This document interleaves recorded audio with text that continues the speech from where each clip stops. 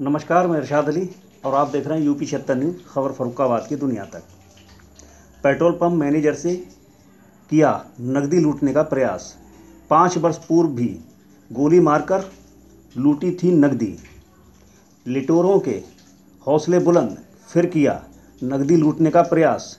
दिन दहाड़े कार्य को अंजाम देने से इलाके में मचा हड़कम तो दोस्तों, खबर जानने से पहले अगर आपने हमारे चैनल को सब्सक्राइब नहीं किया है तो चैनल को सब्सक्राइब करें, इस खबर को लाइक करें, शेयर करें व कमेंट करें और देखते रहें यूपी छिहत्तर न्यूज़। थाना क्षेत्र के ग्राम निबिया, इटावा बरेली हाईवे पर स्थित एम आर फिलिंग स्टेशन है। वहाँ के मैनेजर ओमवीर सिंह दोपहर बाद लगभग तीन लाख रुपए लेकर बैंक में जमा करने के लिए निकला था। तभी महमदपुर गाँव के निकट पीछे से नीले रंग की अपाचे से दो बदमाश आए और मैनेजर ने बताया कि बदमाशों ने बाइक रोकने का कहा, लेकिन वह बाइक रोकने को तैयार नहीं हुआ। उसी दौरान पीछे बैठे बदमाश ने तमंचा निकाल लिया। तमंचा देखकर ओमवीर ने अपनी बाइक महमदपुर गाँव की तरफ़ मोड़ दी, जिसके बाद बदमाश मौके से फरार हो गए।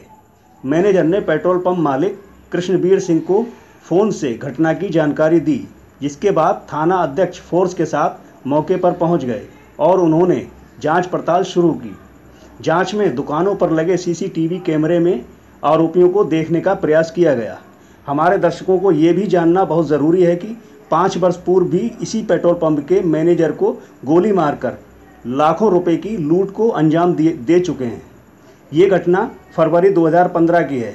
बदमाशों ने निबिया चौराहे पर बाइक सवार ने पीछे से गोली मारकर रुपए छीन लिए, जिसका खुलासा पुलिस ने घटना के छः माह पूर्व कर दिया, जिसमें नकदी के रूप में मात्र नौ हज़ार रुपये ही बरामद हुए थे। तो दोस्तों, जुड़े रहिए हमारे साथ ऐसी खबर पाने के लिए।